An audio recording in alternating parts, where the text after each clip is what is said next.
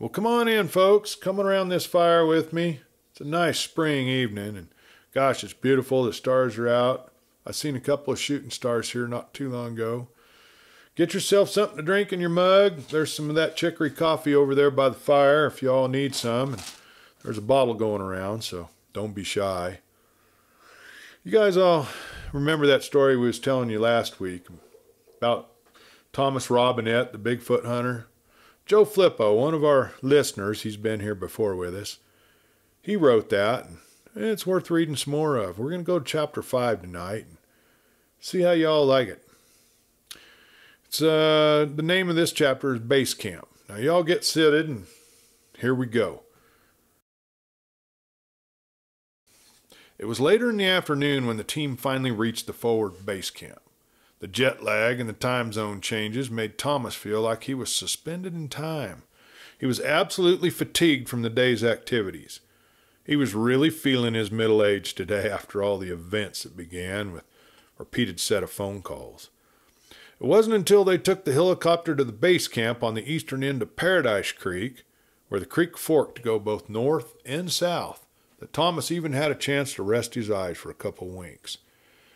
Jack, his ever attentive and loyal partner in adventure and misadventure alike, was right there by his side the entire journey since exiting the plane in Portland.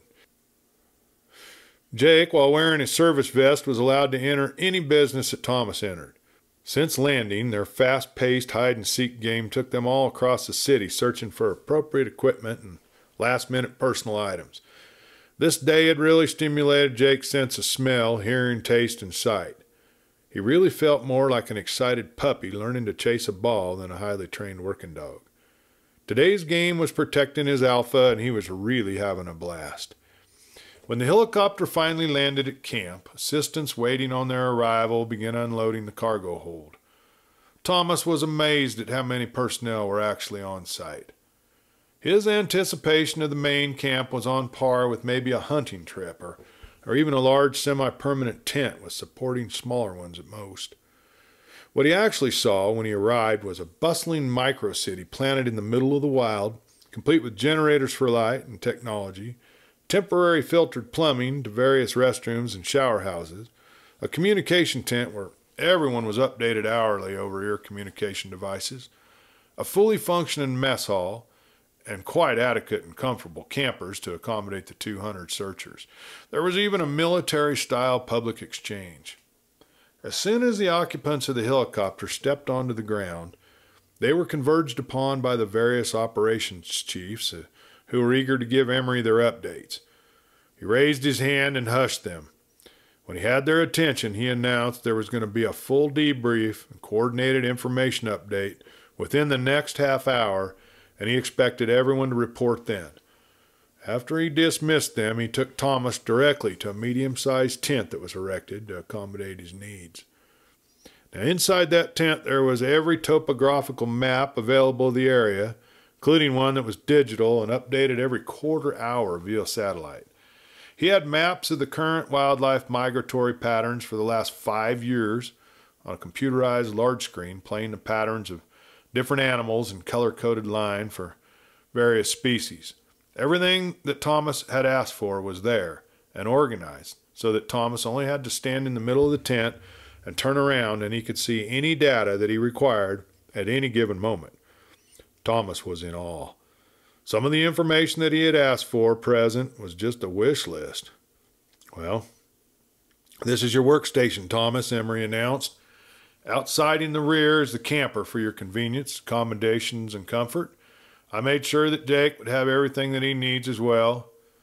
At that moment, a photogenic Native American woman about five feet and two inches tall entered the room with a tall Native American man that could have been her twin, except for the fact that he was male and 14 inches taller than her. He was a large man with a high forehead and a square jaw. He was quite stout, and he held his head up with pride. His well tanned skin and ease of movement spoke of his competence and hinted at his life spent outside in the wild. When he saw Emery, she instinctively moved close to him, invading his personal space. Her companion stood beside the entrance of the tent.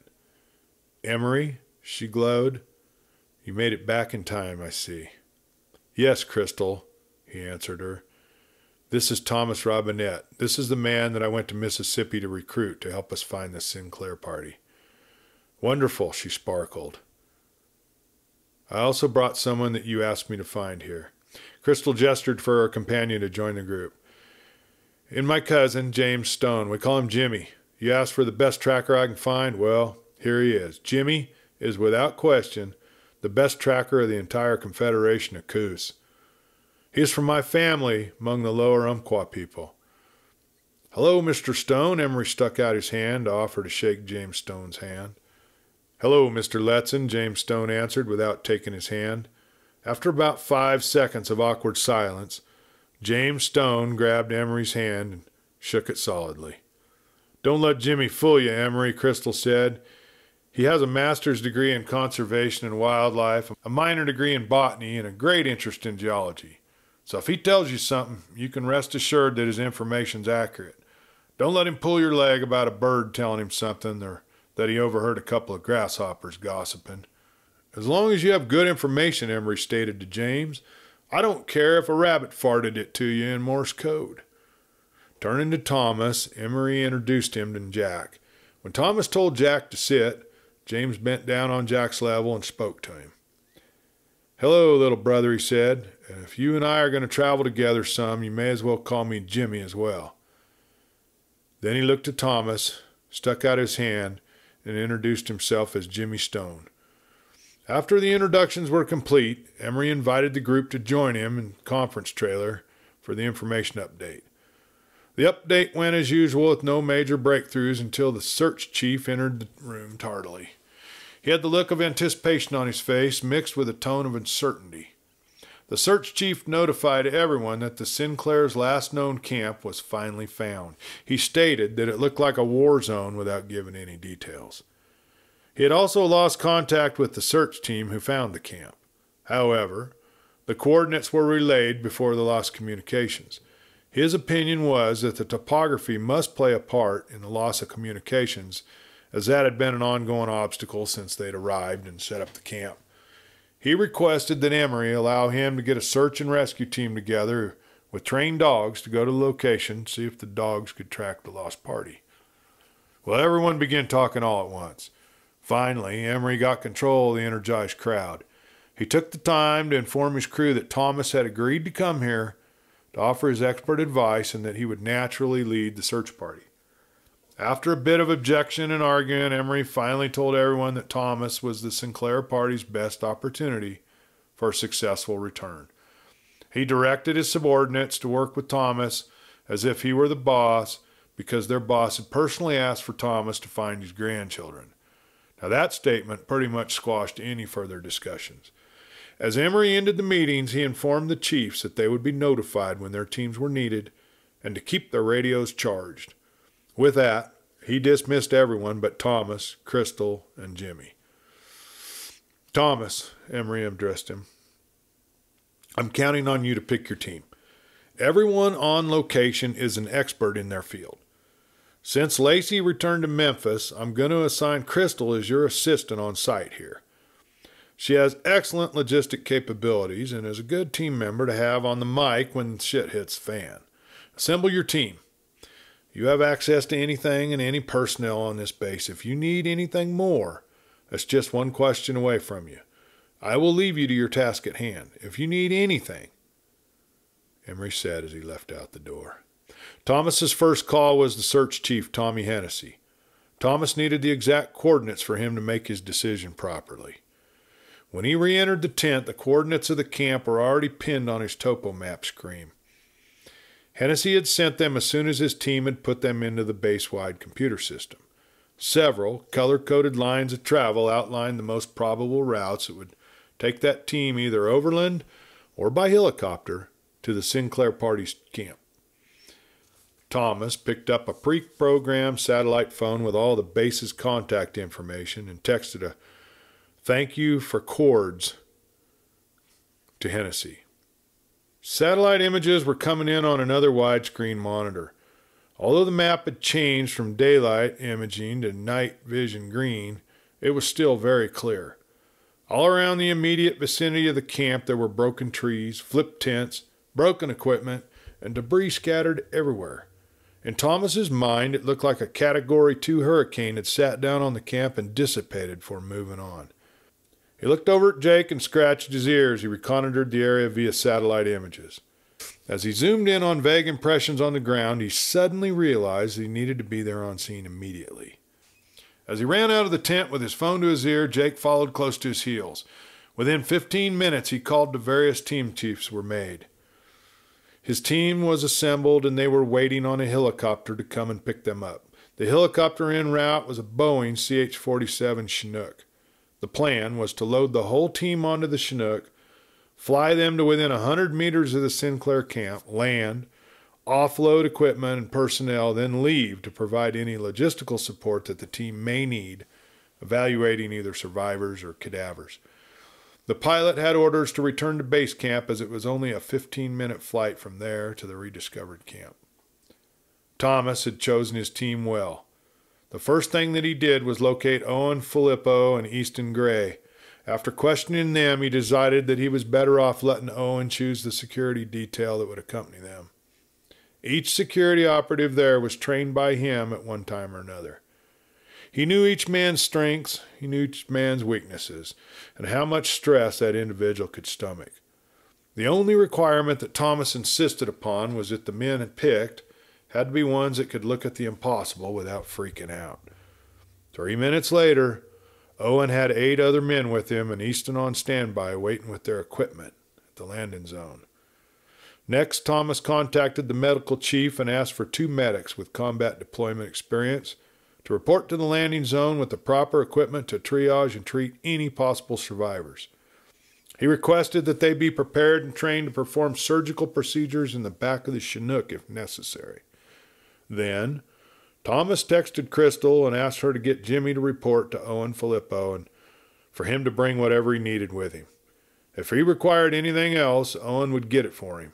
He's also asked Crystal to send over an earcom for him and since he hadn't had the chance to acquiesce one before then. On his way to the landing zone, Thomas stopped in the PX and inquired about a shotgun.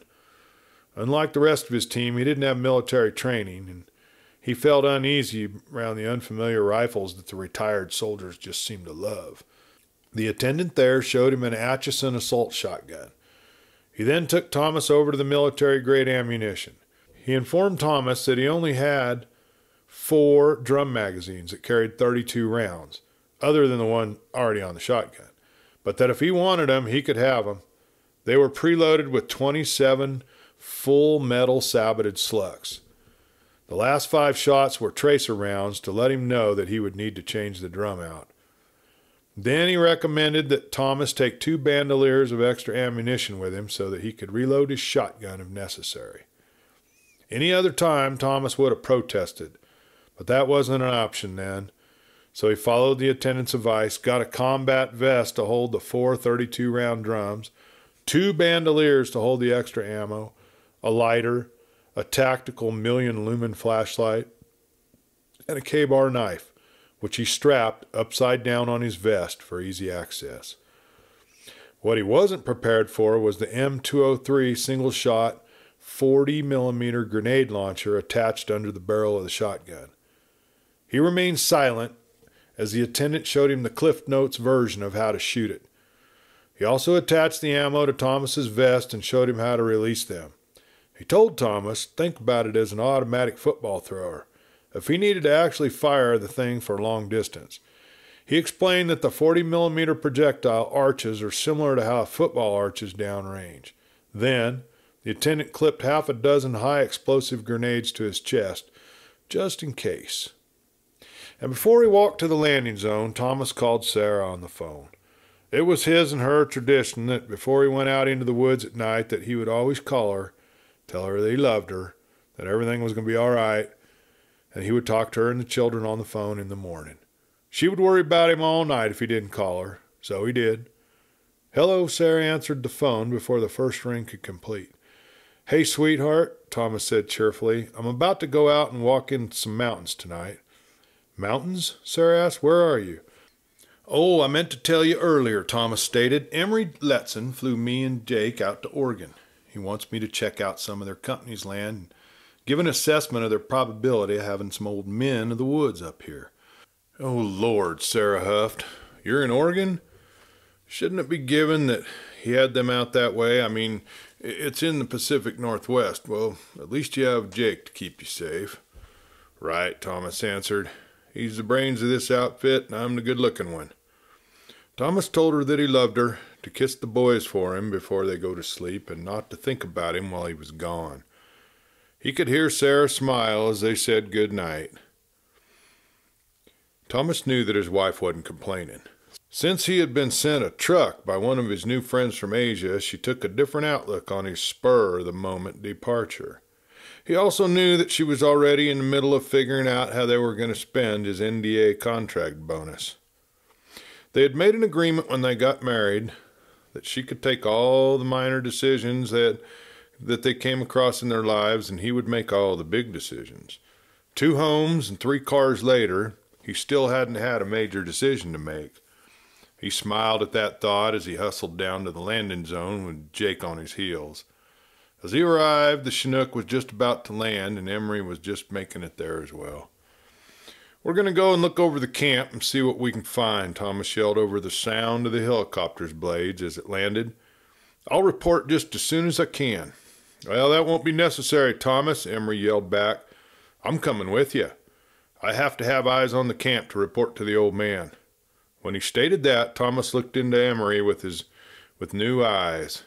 He had assumed that Emery was a pencil pusher before, but as he looked him over now, Thomas could see that Emery was wearing a black combat uniform, carrying a, a MOLLE and a 6.5 Creedmoor, just like Owen and Easton and the other men had with them. He replaced his glasses with contacts at some point since they had parted, and his whole demeanor had transformed from, from just an unassuming businessman to a competent operator. He didn't even look like the same person. Well, you're the boss, Thomas yelled his response as they were the last two to enter the chopper. He couldn't help but to think about Harry Murdoch as he entered the loading ramp with Emery. He hoped that his memory wasn't a foreshadowing of future events. As the last of the party's ATVs and supplies were loaded aboard, Thomas commanded Jake to jump up into the Chinook. Fire 'em up, Emery yelled to the pilots as he pointed with his right hand and twirled around his index finger counterclockwise. Jake could feel the tension in the air and smell the adrenaline as the men inside the helicopter sweated out. He laid down next to Thomas. The next time he touched the ground, he just knew that they were going to play the find the booger game. He was good at that game. He also liked to win. Tonight, he would do his best to find these boogers he just hoped that these smelled better than those in Mississippi. Anticipation of the game was almost as enjoyable as the actual game to Jake. Since arriving at this location, Jake had experienced a lot of new smells and sounds that he was unfamiliar with. His curiosity had piqued. His confidence had soared. He had never lost a game when he knew the rules. His alpha would tell him the rules when they began the game. Now Jake was excited about this new game. He would win. He knew this because Jake was a good boy. Chapter 6 The Sinclair Party's Camp. It was just after sunset before the search team that Thomas led arrived at the Sinclair Party's camp. Owen and the security team immediately began setting up tripwire camp perimeters inside the tree line surrounding the camp. After that, they divided up the area in sectors and set up field cameras to watch each sector and a makeshift command post where his tech operative could keep a vigilant watch on their site. After every operative was clear on his duties, the team split up to cover their sectors with the instructions not to shoot until they were sure that the hostiles weren't Jake. Before setting up their posts, the operatives took the time to organize the four seater Polaris RZRs that were offloaded from the Chinook to carry around their equipment and supplies. Each of these customized machines had large enough gas tanks for drive for days. Extra gas cans were attached to the top of the roll cage as well. Thomas placed his training camera on Jake's head and placed Jake's earcom into his right ear. Then he sent Jake out on a seek and find command so that he could get a better look at what the inside of the canopy looked like. When Jake got to the first tree, Thomas cued his microphone and commanded Jake to stop, test the equipment before Jake vanished out of sight.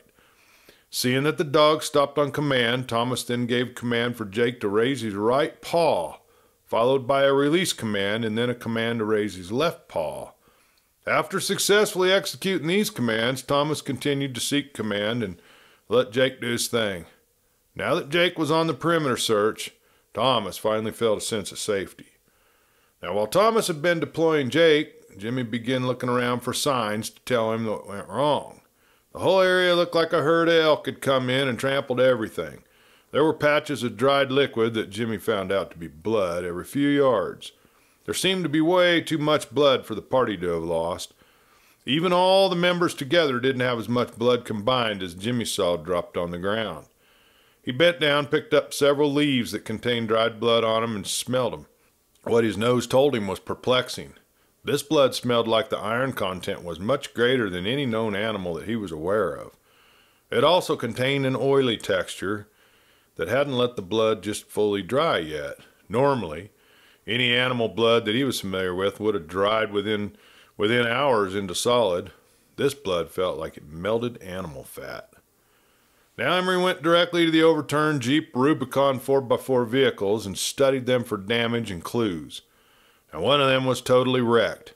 To him, they actually looked like giant children had used them as a soccer ball. The sides were indented with huge dents that were similar to huge human feet.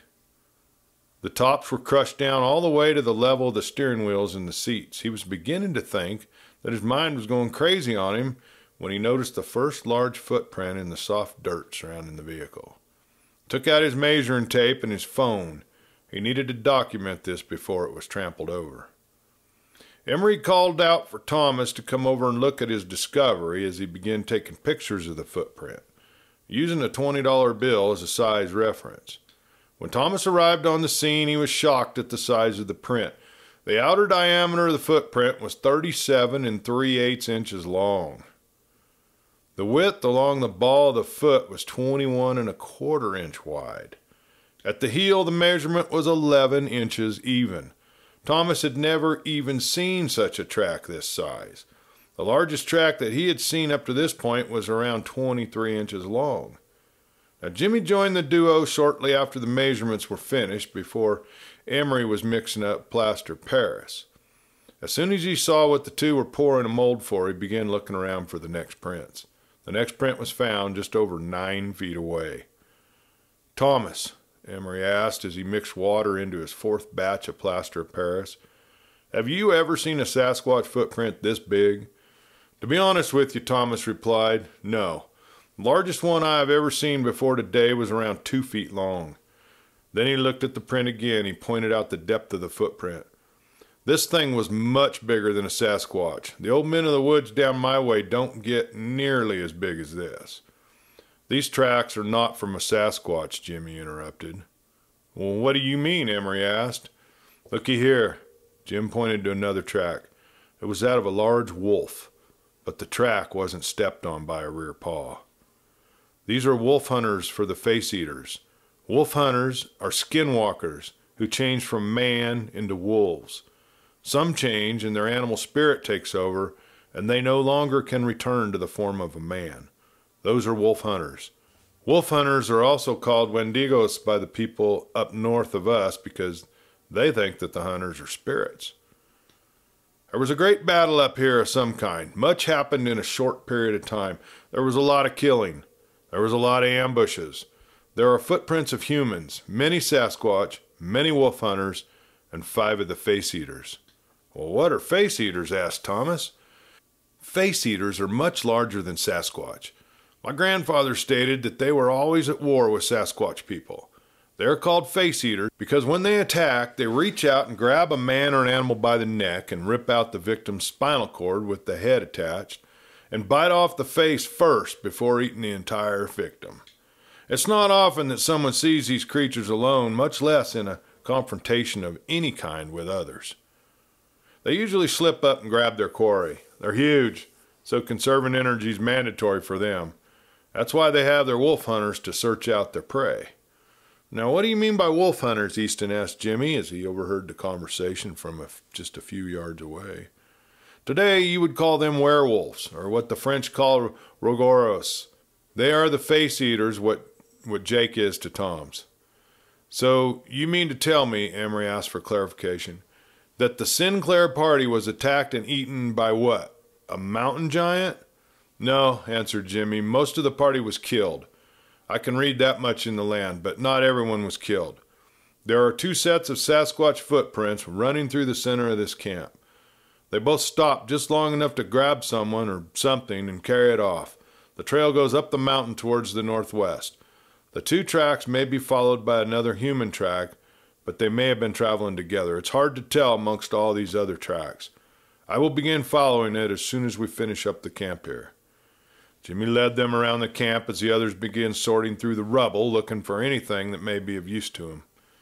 He stopped at various points and explained what happened by the scuff marks and spent shell casings, broken weaponry when he found it, and also by the blood patterns. There were places where bodies obviously had been lying for a while before being moved. Those areas had sizable pools of blood soaked into the ground. It was obvious that many of the dried pools were too large to be human. Emery smelt a spent cartridge as he looked at one of those places. What does your nose tell you? Jimmy asked him. It tells me that the security detail had copper jacketed silver rounds with steel core, Emery answered. It was fired over a week ago. Well, that's just amazing. Thomas was impressed, and then he went on to ask, How can you figure out all that by smelling the cartridge? Well, the last communication via satellite phone was from Katie Sinclair eight days ago. This is a standard Leviathan International patented casing that all field security operatives are issued when the team is just uncertain about what they're going to encounter. The round was designed to kill anything from werewolves to goblins. Well, theoretically, anyway. By look all this blood, I would say they're at least partially successful, Jimmy stated.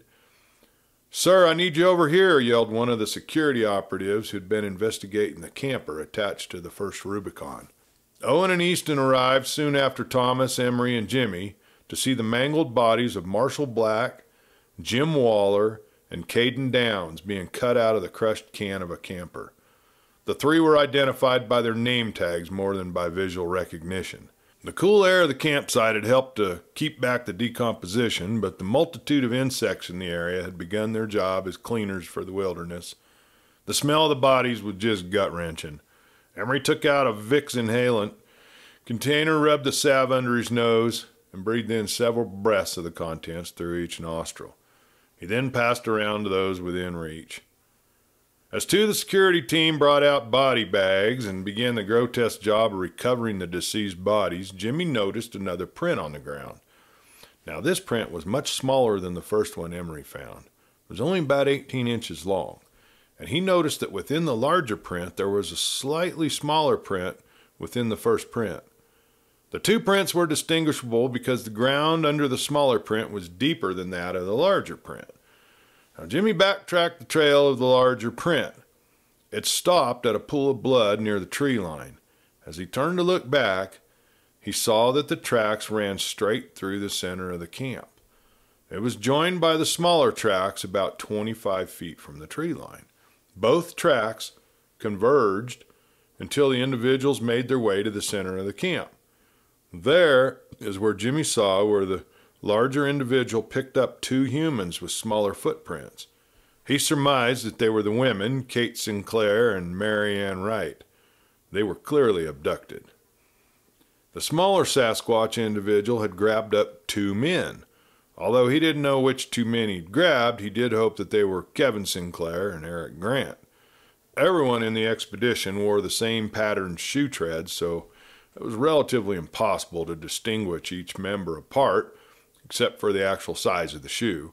However, on the ground near the tracks of the kidnapped men, there were 45 automatic Colt pistol casings. It was known that Kevin Sinclair had a Kimber 45 ACP pistol. Mixed among the casings, there was a name tag that said Eric Grant on it. It also had the Leviathan International logo and his company position as an advisor on it. And while Thomas was watching Jimmy and Emery investigate the murder scene, Jake's earcom and camera alerted on Thomas's digital notebook. As he checked out the information, he received the GPS coordinates for about 500 yards uphill from them towards the northwest. And as he opened the video feed, he saw a hand patting the top of the head on Jake. When he turned up the volume of the video feed, there was a message. Whoever is on the other end of this camera, the gruff, masculine voice said, My name is John Wilson Tate. I'm a forward scout for an expedition funded by Leviathan International. I need help. He then gave his GPS coordinate. Thomas gave Jake the command to stay, and he called over everyone within hearing distance. He replayed the message, and Owen quickly assembled a team to go return John Wilson to the camp. When the team left, Others began setting up a, a, makeshift triage tent. Emery took the time to call in the Chinook for transporting the recovered cadavers and John Wilson to the main base in safety. When the team got out of sight, Tom, Thomas used his camera and Jake to look for them by commanding Jake to turn around and listen for their approach. When the team arrived, Jake stood protectively over the unconscious John Wilson until Thomas gave him the command to stand down so that the team could evaluate him and exfiltrate him from the vantage point. Thomas gave Jake the command to return to camp when the team began leaving John Wilson's hiding place. He stayed with the team until they returned to the Sinclair camp. And once at camp, John Wilson was immediately given an intravenous bag of fluid to help with his dehydration. He was conscious and lucid in thought and speech, even if he was exhausted beyond most men's limits. He laid there on the gurney and was very stoic as the medical team looked over his injuries. He had multiple contusions on his legs, back, and shoulders. He had a large gash on the rib cage that he had packed with mud and moss, and he had received a hard blow on the head at one point that had bled inside the unbroken skin and just created an intradermal bloody scab. His eyes were bloodshot from a lack of sleep. His hands and feet had defensive wounds on them as well as his shins and his forearms. His clothing had seen better days. It was plain to see that John Wilson had been through his own personal hell. After John Wilson was treated and given a mild sedative, Emery asked him for any information that he could give him about what had happened during the catastrophic last moments in camp. John Wilson told in precise detail what happened in a way that only soldiers experienced in battle could understand. Luckily, Everyone there but Thomas and Jimmy were former military soldiers and followed along with his account just right. John Wilson told they had seemingly uneventful expedition until they decided to camp at their current location for the night. John Wilson told him how just about at dusk after he had returned to camp to eat his evening meal, the whole camp heard just an indescribable yell coming from around the mountainside to the northeast. At least that is where they thought that the sound originated. He grabbed his rifle. He then went on to describe the incident of the creature charging the camp. He spoke of the creature talking in broken English that danger was coming. Then all hell broke loose, he stated. John Wilson went on to tell about the arrival of the wolf like creatures that attacked the camp. He told about the carnage and how everyone began firing at once. As the battle raged, he noticed that more of the Sasquatch arrived and were actually fighting the werewolf. Then, out of the wilderness appeared five very large humanoids. The biggest one was almost 30 feet tall. The other four were smaller, but the smallest one was still around 18 or 19 feet tall. Now, those creatures being, began grabbing up any dead body and eating them, he stated. They ate humans, they ate the Sasquatch, and werewolves just indiscriminately. John Wilson went on to say that he saw the first creature charge the women and carry them off towards the direction that they had found him away from the camp. The second smaller Sasquatch grabbed Kevin and Eric and followed the larger one away from the battle. When he saw the large one grab Katie, John Wilson said that he began to give them pursuit, but they were just way too fast for him to keep up. He was in the process of running uphill after them while engaging the werewolves when he was hit from behind and rolled down the mountain into a drainage crack where where Jake had found him. Twice the giants tried to get to him, but each time he was able to shoot them at close range with his 6.5 millimeter Creedmoor in the face. dissuade them from continuing after him. He passed out intermittently during his ordeal. John Wilson said that the only reason that he was able to survive was the fact that every morning dew from the mountain ran down to a break in a small stream that he and he used his water bladder from his MOLLE to catch enough to keep himself partially hydrated. John Wilson never heard the Chinook land. He couldn't believe that Jake had actually arrived and found him. He ended his account by stating that anyone not found beyond the four that were kidnapped were just completely consumed. He stated that he, he saw firsthand when some of the operatives were killed. Now, those that survived the werewolf attack were grabbed up by the mountain giants and had their heads and backbones ripped from their bodies, he told them. Then their faces had been bitten off and their bodies were consumed. Some of the men were captured alive and bitten in half and swallowed while still screaming. John Wilson recounted he was reasonably certain that Kate, Mary Ann, Kevin, and Eric were grabbed and carried away for their own safety. John Wilson made that assumption because of the words of warning that were spoken by the Sasquatch that arrived just before the attack. Also, there were other Sasquatch that arrived to help fend off the attack.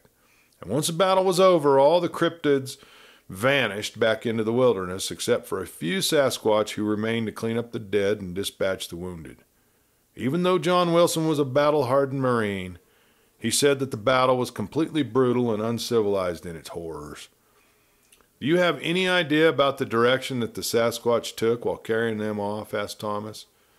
Well, I only have an educated guess, John Wilson answered as he was being loaded up in the helicopter. I was following them northwest in a beeline for that mountain just past the first pass over there. John Wilson pointed at the mountain that he was referring to. I was only about five feet on the left side of their trail when I fell into that drainage ditch, he stated, before ending with, You shouldn't have much problem finding their trail since all those werewolves and mountain giants followed them after destroying the camp. There was a hell of a fight up there as well. It was still going on when I fell into the ditch and hit my head. The strangest part of the whole ordeal is that I swear that I heard singing or chanting while the fight was at its worst. With that, John Wilson, the two medics, and the three body bags were loaded into the Chinook and lifted out to the main base. Emery kept one of the medic's medical bags after trading his MOLLE for it, and as the helicopter rose up to a safe flying altitude, the rotor wash blew everything that wasn't tied down around the camp. Thomas looked toward the mountain that John Wilson referred to as the pilot flew the Chinook out of sight. He didn't know what this night was going to reveal to himself and his companions, but they had to be ready for just about anything. As he thought about what John Wilson had conveyed to them, Thomas wondered how much was accurate and how much was misconception of what happened due to John Wilson's head injury. Either way, he would probably know by morning, Everything that he had heard tonight was alien to what he had encountered in Mississippi. His experiences had led him to believe the Sasquatch was just an unrecognized great ape. Could it be that the term Sasquatch referred to more than just one type of hominid? Could there be so many undiscovered large primates living apart from civilization? If so, how did they manage to hide from satellite imagery and air traffic? And as always, his discoveries caused him to develop more questions than answers. The rabbit hole just became a black hole. And while Thomas was observing the mountain, Owen, Easton, and three more of the security operatives turned the second Rubicon back up onto its wheels. After unhitching the mangled camper that was attached to it, an inspection showed that the only real damage to the vehicle was cosmetic. After checking the fluids, they found that the oil and transmission fluids had drained out, but the brake and power steerings were still full. A quick check of the owner's manual told the operatives how much fluid that Jeep needed. Another quick search of the camper revealed the needed fluids and four five gallon gas tanks. While the crew was attending the Rubicon, Thomas directed Jimmy to scout ahead in the direction of the mountains where the Sasquatch disappeared and see if he could find their trail. He gave Jake the guard signal and pointed at Jimmy and ordered Jake to stay with him. Jimmy reached down and scratched Jake's head and invited him along with a good old good look see. Jack had never played his game with Jimmy before. He hoped Jimmy was as willing to reward his success with ear scratches, just like he was used to getting from Thomas. Anticipating another game, Jake was compliant and followed out ahead. At 160 pounds and almost seven feet long from nose to tail, Jake exuded confidence that he would win this game. Back in Mississippi, Alabama, Texas, Louisiana, and Tennessee, he had won this game. No other animal who played this game with him in the past had ever eluded him. Even though he has experienced so many new smells and tastes, Jake knows what the game is always the same. Thomas gives him one scent. Jake filters through every other scent and picks out the right trail, and away they go. As the two went out to scout ahead, Thomas hoped that they didn't run into anything dangerous. His mind was focused on face eaters, Sasquatches, and werewolf. At this point, he didn't consider bear, mountain lion, or cougars dangerous. Even a pack of normal timber wolves didn't seem as much of a challenge as these hunter wolves he heard about. Chapter 7 Oryx Up in the mountains above the tree line, Oryx reigned supreme. His existence had spread across many centuries. Long ago, Oryx had quit observing his birth date. His great size allowed him to intimidate any would be challenger until Gawa had come along. At the height of 54 feet, he weighed just a little over four tons. It was Oryx who had conquered the Wolven tribes and subjugated them to become his slaves. If he was honest with himself, the Wolven hunters had sustained him for many years now. Advanced age had created physical problems that he hadn't foreseen. His eyes were not as clear as they once were. His hearing wasn't as attuned as it used to be. His joints creaked a lot lately. His hands had lost much of their strength. And he was continually wary of falling. He spent more time sitting on his stone throne these days than he actually spent doing anything else besides eating what his hunters brought to him. His lower back seemed like he had lost the will to hold up the torso. It was his oldest son, Gawa, who first noticed these maladies. Gawa, being the son of his father, had decided that Oryx was past his prime. He began his campaign to become the next king of the mountain. He went to his younger brother and convinced them to support him in his effort to dethrone their father. Oryx had seen the campaign for what it was. He had also decided that he no longer wished to hold the responsibility of the family's well being on his stooping shoulders. Oryx knew that by birthright Gawa was the natural choice to become his heir to his position. In Oryx's opinion, Gawa was the only one strong enough and capable of maintaining control over the Wolven hunters, who seemed to become more obstinate as of late. On the eve of the day in which Gawa had decided to kill his father, Oryx called Gawa and his extended family to him. Sitting up in the stone throne that his body had worn smooth over the centuries, Oryx announced to all that he was abdicating his throne and that Gawa was to be his successor. In order for Gawa to prove his ability to lead their people, he had to organize a truce for peace between the mountain people and the Sasquatch. This had never been accomplished in his entire reign. His intention was that either Gawa would be defeated by the rebel Daw or that a peace would be ensured for his retirement. As Oryx publicly gave Gawa a lawful way to gain his greatest wish, Gawa could no longer try to overthrow Oryx. If he attempted to kill his father after his father gave him a chance to honorably take his place, he would become a pariah of this world. Every giant who saw him would be obligated to kill him. It was ancient law. Therefore, Gawa placed his time and energy in solving the problem that was presented to him. It was Gawa's idea to challenge Daw. It was also Gawa's idea to let Daw defeat him after a hard fought battle so that Daw felt as if the treaty between them was Daw's doing. He spoke with Oryx about his plan. Oryx had agreed that it may work. He assured Gawa that if Gawa would orchestrate his plan and successfully execute it, he would then be king. Two days later, Gawa traveled down the mountains to challenge Daw to a battle for peace. Should Daw win, the mountain people would stay above the tree line. Should Gawa win, the Sasquatch people must move down to the plains and completely out of the mountains. Any Sasquatch caught in the mountains after Daw's loss would be considered hostile and hunted down and eat, eaten. If Daw won, any face eater or hunter found inside Daw's domain was fair game as well. According to Gawa's plan, Daw eventually won the battle. The peace was agreed upon and terms were given and accepted.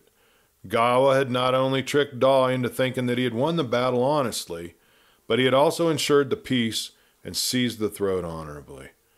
Oric was enjoying his peace and quiet as he watched the peaceful valley below him, and after a short while he noted a disruption on the horizon. As he squinted his ancient eyes, he saw hunters running back towards his mountain as if they were being pursued by some unseen force. They were running as fast as they could without looking back, even once. Something must be awry for them to be acting in this manner, he thought. He looked towards the back of the pack to see if he could spy Gawa or one of his four grandsons among the pack. None of them were present. A knot forming in his stomach as he tried to figure out why the hunters would leave his son in such a haste that they even never looked back to see if Gawa was safe. A feeling of foreboding weighed on Oric's mind. Oric didn't have long to wait before he got the answer that he needed. One of the beta hunters ran straight to him and bowed on his knees and dropped his muzzle to his chest. You have something to tell me, Oric stated. Yes, the leader of the pack answered, but remained silent. You fear to be the bearer of this message, slave? Oric asked authoritatively. You will be in greater danger of harm if you refuse to tell me what I demand you to say. My lord, the hunter began, I must tell you that in the past four days your son, mighty Gawa, and his four princes have been murdered by Dene, son of Daw, and his warriors. What? roared Oric in disbelief. How is this possible? Out of anger, Oric grabbed the messenger and ripped him in half, throwing his lifeless body to the ground. For the next few minutes, he threw a temper tantrum fueled by anger and his grief. As his old body began to wear down and his breath became ragged, he finally gathered himself up and sat back down on the throne that he had just recently given to his son. Pointing to another hunter, he asked him to explain how his son and his grandsons met their untimely death. Standing well outside of the Face Eater King's grasp, the hunter went on to describe how the pack had come upon the humans and their machines wandering aimlessly in the wilderness. They were so noisy and created so many interesting sounds and smells that their leader reported them to Gawa. Gawa decided that the expedition was to be captured so that the humans could be eaten and their magics revealed. Upon returning to report their discovery, the pack had come across Daw on the trail. He was enraged that the pack was traveling in his domain without permission, so he confronted him. The pack dogpiled him and held him down as their leaders held the nose and mouth of Daw shut until his breath refused to enter his body and his spirit left for his journey to the Sky People. The pack reported Daw's demise to Gawa, so Gawa decided that the peace treaty was no longer in effect. He led the pack and his sons down to the human camp. While they were just passing a tree line, the whole pack heard Daw scream in a challenge to Gawa. Gawa was disturbed, but since he knew that he allowed Daw to win this battle for peace, he continued on to the human village. He found Dene at the human camp. Gawa sent in the hunters, and a battle ensued. Then other Sasquatch appeared to help defend the human village until the hunters overran the site. All the humans were killed at this village. Three locked themselves inside a wagon and refused to come out, so Gawa crushed them inside their shelter. After that, the Sasquatch people retreated and the hunters gave chase. Gawa and his sons finished off the human male warriors, but Dene and his younger brother Babu grabbed the two women and two men who were leading the humans and ran away. Gawa wanted them as well, so he ordered the hunters to track them down. They tracked the Sasquatch and their captives to their lair. Once the hunters found the Sasquatch stronghold, they attacked it, but they were met with strong resistance. Dene was fighting the hunters until Gawa arrived. Then Dene challenged Gawa. The hunters backed away to let the two leaders fight. Gawa walked to meet the challenge. Dene ran down the mountain, jumped off a cliff, and attacked Gawa's neck. Dene ripped out Gawa's throat, then jumped to Jawa and eviscerated him with his claws as he slid down Jawa's stomach. The other three sons of Gawa attacked Dene together, but he killed them with his bare hands. He killed them together, not one at a time, but all as one. When the hunters saw the mighty Gawa and his sons were all defeated and killed, they rushed back here to bring Oric the bad news. Where are the bodies? Oric asked. Unless they have been moved by the Sasquatch people, they remain where they lay slain, answered the hunters. Take enough hunters to bring back Gawa's body, Oric commanded. Then go back for my grandsons.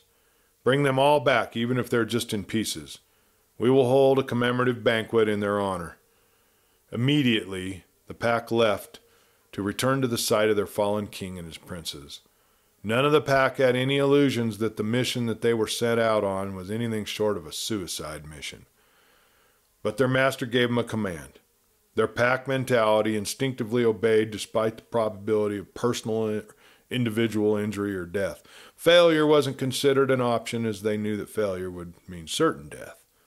After the pack was out of sight of the Face Eater cave, the leader called for them to stop and take a rest break. They had been running for a long time uphill on their return to their home. Now, even though they were running downhill, they were all exhausted. The morning star was about to set, and daylight was just beginning to break the horizon. After finding a familiar cave, they retreated inside to bathe in the inner pool and rest during the daylight hours. Their task wasn't going to run away from them.